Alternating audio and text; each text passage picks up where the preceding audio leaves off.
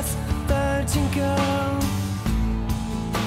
to hear about your grace and your silly face.